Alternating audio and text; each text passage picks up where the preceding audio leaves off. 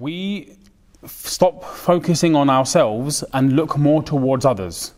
We look more towards the faults of others and disregard our own faults. We look at our own goodness and disregard the goodness of others.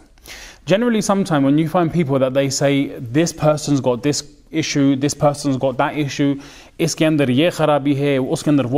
along these lines, what we're basically doing is one of two things. Number one, we're comparing ourselves to that individual. Yeah?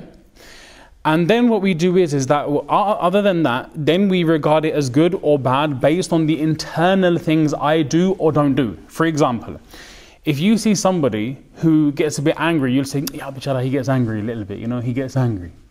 Because we're guilty of the same thing. If we see someone with a certain trait, a certain quality, a certain characteristic, a certain khubi or khami, right, we then regard it as how we react to that, it depends on how we see that within ourselves. I'll make it simple and give you a simple example. So what happens is, is that if we see somebody that doesn't really pray salah much, where we pray five times salah, without any doubts, any issues, we never make sure our salah goes qada. We'll say, yeah, look what sort of person is he, man. Namaz nahi padta bichara. Be namazi yaar. That thinking may come into our mind if we don't pray our salah too much and he doesn't, we'll say, yaar, chalta rehte market mein. we say something like that. Okay? Allah forbid, giving an, an example of a sin, somebody bichara has got a bit of a habit, he watches films which aren't too of a good nature.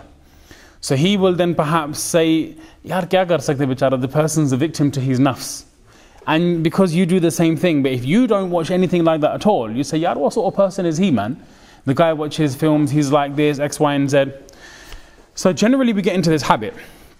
People can get into this habit of comparing themselves to other people, comparing themselves to others. And based on how you compare yourself to others, and based on how what you see within yourself, you consider something good or bad. Why am I touching upon this? Because, you know, it's quite common, and may Allah forgive us, Allah help us.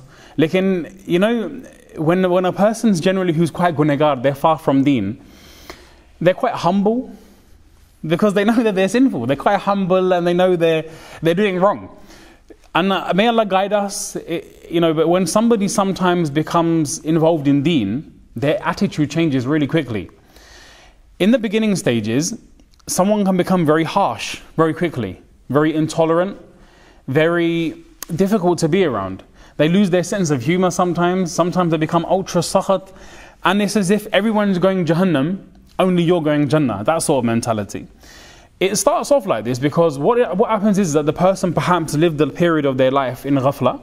A person lived the period of their life away from Allah Ta'ala. So when they do come closer to Allah Subhanahu wa Ta'ala, what happens is they suddenly have this josh.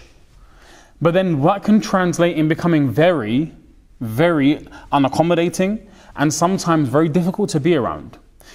It's actually supposed to be the other way.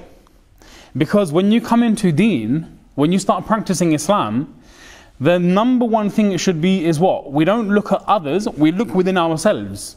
Okay, cholo, this brother, he does this guna, and that's what I can see. For example, someone drinks alcohol.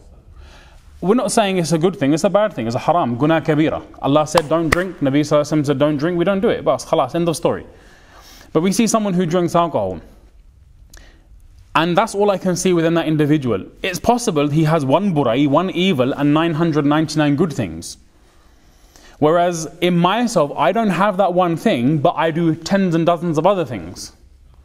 I may consider myself better than people, takabbur, which is a major, major sin. He might not consider that. So he's free from that thing, which I'm not free of. This looking down upon people with haqarat, looking down upon people, is a major sin within the deen. And it happens with all people, but it can creep in slightly more with those people who tend to be more practicing.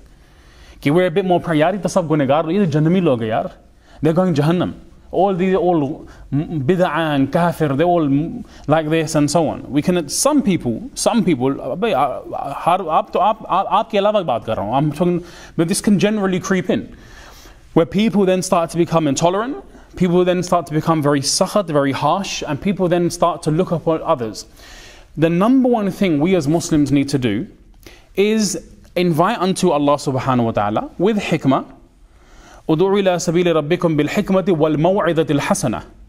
Invite people with wisdom and, and good counsel. and in good counsel. If you want someone to change a trait and a characteristic within themselves, you're not going to do it harshly. You're not going to do it by speaking down to people. Yeah, the fit of anger, we can say things that we regret. I've done it in the past a number of times. When you say something in the heat of anger you shouldn't have done, you need to retract, go back, uh, and sometimes even at extent we even we may need to go and ask people for forgiveness and say, I'm sorry, but that wasn't called for. I ask for an apology. The thing is, is that our counsel, our nasiha and our advice should be soft, should be naram, it should be befitting. When someone came to the Prophet ﷺ and he asked Rasulullah give me ijazah to make zina. What did he ﷺ do? Did he call him a kafir? Did he say you're a na'udhu billah mushrik, you're a bid'ati? Go from here, get out of my majlis, go to Abu Jahl, go and start doing shirk. He didn't answer anything like that. He addressed him in a soft, compassionate way, made him understand that if you're going to make zina with someone, it's going to be someone's, I'm just translating the hadith in my own words, someone's mother, sister, auntie, so on. And would you like someone to do that to you? You wouldn't. So then why do you want to do that to somebody else? So he tried to put that person in the, in the same position. And then that person understood that, hold on a second, this doesn't seem rationally right. And then Abd sallallahu made dua for him to clean his heart from this ill, this malady. And he said that after this time, I never looked at zina the same way. I hated it more than anything on the face of the earth. Because Abd saw that there's a characteristic inside him. He's got many khubiyah, but there's this one khami. He was he had an inclination to something which was haram. He didn't do it. It was a thought, it was a jazba, it was a desire. So he وسلم, dealt with him in a compassionate way. He, he invited him with, with what? بِالْحِكْمَةِ وَالْمَوْعِدَةِ الْحَسَنَةِ With hikmah and wisdom and good counsel. See, the problem is when we generally find people that are associated with deen, people become overzealous. Overzealous. And that's why sometimes people don't like to call religious people to certain gatherings. They're going to destroy the mahal. Because sometimes they may say, this is haram, that's haram, that's haram. First and foremost, I say personally, me, I've been invited to certain gatherings. Like there was this wedding that was taking place, and they they said it's going to be open mix, it's going to be like mendi going on and dholki And I was like, well, I'm not going to turn up then, am I? Naturally. One because I'm not Hindu, I'm Muslim. I don't understand Asian culture. I understand Islam. So I'm not going to go there and sit there without, and I won't be able to sit there calmly without a frown coming on my forehead when I see khurafat, especially things that we've taken from Hindu and Sikh and other religions. So I just declined the invite. I said, I'm sorry, brother. Allah give you barakah, but I, I won't be able to attend. I'm sorry. And I politely declined. But if I go there, now it's wrong for me to say, yeah, what's this? What, what, what's, what's this? What, okay, what, like make tankid. Wait, Najal. Don't go. Who invite? Wait, don't go. Simple. Give them nasiha. Just say, look, in my humble opinion, I think that it would be better if you to do like this. Allah give you barakah. Allah, Allah sabko tawfiq there. But you see, when we start becoming hakim, brother, don't you understand this is guna? By Jahannam ka faisla hone wala You know, in that sort of attitude, this is where we need to, this is what, this is what we need to change. It's the haqar looking down upon certain individuals. This is why I said, for us as Muslims, we don't, don't look down upon any individual, even a non-Muslim, subhanAllah. Even non-Muslims don't think that we're better than, based on our actions and this moment, our iman, we don't know, are we going to Jannah or not? We don't know if they're going to Jahannam or not. So we need to look at every individual as a possibility that it's possible. Ayn mumkin that person can become Muslim, become better than me, excel me. And Allah forbid, Allah forbid, I could lose my iman and I could end up going in the depths of Jahannam. Okay? So this is why it's essential for a Muslim, a believer, a person who says La ilaha illallah, to always have good hopes on Allah subhanahu wa ta'ala and never feel content. Hence, even there were some ulama that were mentioning that even at the moment they don't regard themselves fil hal, at this current moment, right now, as even better than people who are disbelievers and kuffar. Why? Because I don't know. This is I'm relaying that scholar's words, what he said eloquently. But I don't know at this moment whether when I leave this dunya I'm leaving with iman or not. And I don't know for sure whether he's going to die with it, without iman or not. So based on this premise, I can't sound better than any individual. And at the same time, I go back to this thing about considering ourselves better than other individuals. It's very possible that someone has a certain khami, a certain deficiency, a certain weakness, but yet he's got a hundred other qualities which Allah loves.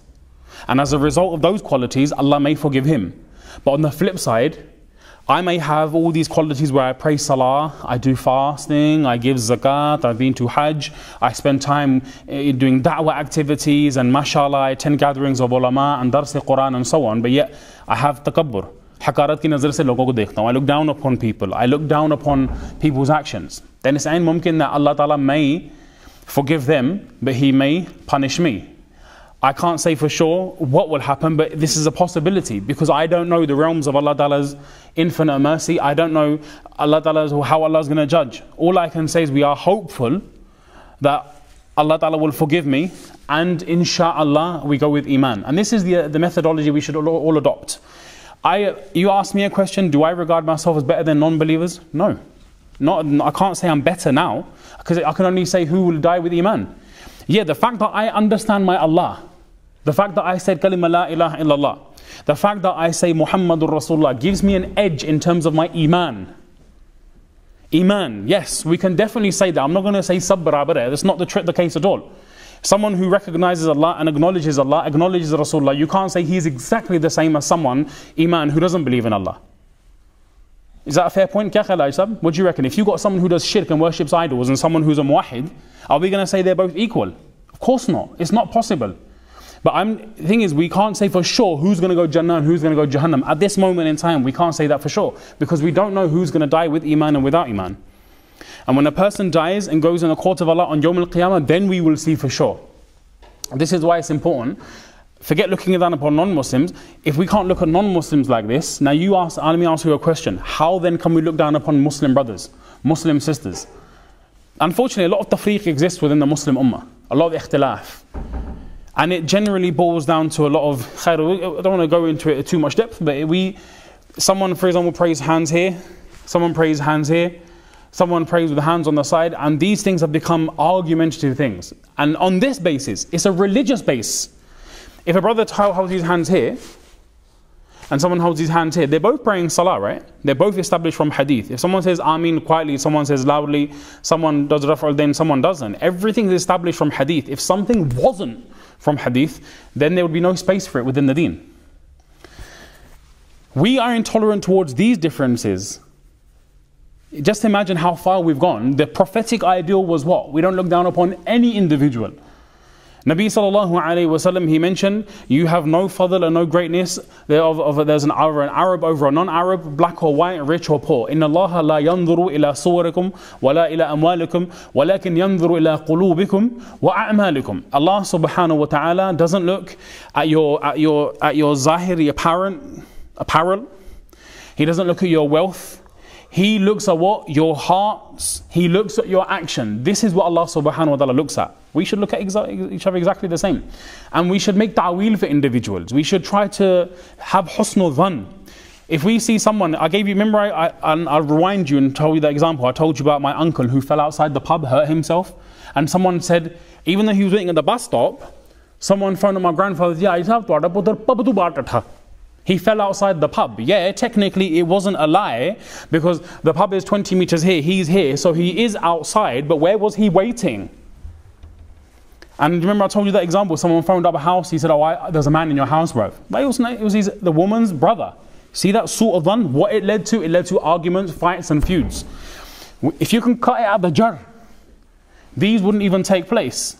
There's a possibility that there's a ta'wil to that person's answers. Do you understand? And if and this is the job of ulama and muftiyan ikram and, and the, if it's for them to pass fatwa and, and, advise the ummah. For us as individuals, it's not really our job to go around correcting, passing fatwa on individual. Worry about ourselves. Yes, something is sari, absolutely open. Then obviously, then there's no ta'wil possible. Fair enough. And I don't want to start giving examples. There's plenty in the markets for examples. But I'm saying where it's possible, just, and then where it's possible, we should have husn dhan for our fellow Muslim brothers and sisters and try not to find faults and try to look for differences of feuding or fighting. When the ummah becomes one, then you'll see the full potential in this ummah. If we look at each other's difficulties, small ikhtilafat, small minor, minor, minor issues and differences amongst us, wallah, we'll be arguing like this until the day of judgment. So may Allah give us guidance, inshallah. The khulasa of what was today's speech was what?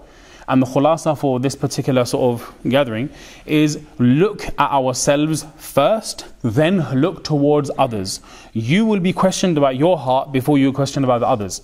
It's like now, for example, now if one of the brothers was a doctor and he came here and gave an announcement and said, those of you, for example, there's been a flu which has become gone widespread, some type of waba, some type of plague.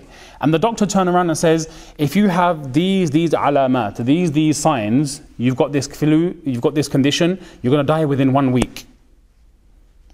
So, for example, now, when, they, when meningitis was widespread, they said if you have a rash, if 24 hours you're, you're sweating, red spots, you're feeling sick, you don't like the light, which Bewakuf would be that individual who has all these signs and says, no, no, I'll look at, let's see, who just, who, Orca Square. has he got it has she got it look for others भाई अपने आप को बचाओ Look towards yourself first. If a doctor said these these alamat are signs that you've got cancer, you're not going to say, right, let me see, has he got it? Has he got it? Has he got it? You won't look at other people, you look towards yourself. Why do we look at deeni things different? You know what it boils down to? No qadr for deen. That's what it boils down to. There's no value, is there really? That's the bitter truth. that sort of thing. No, we're going to be questioned first. Allah will ask you about you first. And then He will ask you about the people who are under your ra'iyah, under your supervision, under your guidance. So inshallah, let's take this nasiha with us. Allah give us hidayat and guidance, inshallah.